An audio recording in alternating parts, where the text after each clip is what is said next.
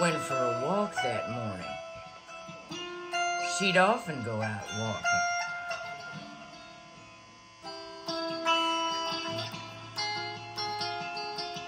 It didn't matter where. She just went.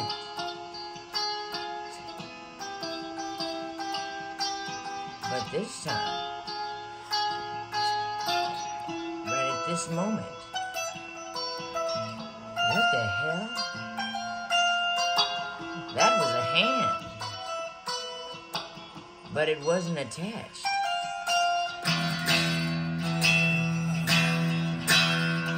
There was a ring. She recognized it. It was her mama's ring. But mama wasn't there. Dad had a lot to drink last night. He often drank. But nothing like this ever happened before. What is she gonna do? She went to hold Mama's hand, and it sprang her.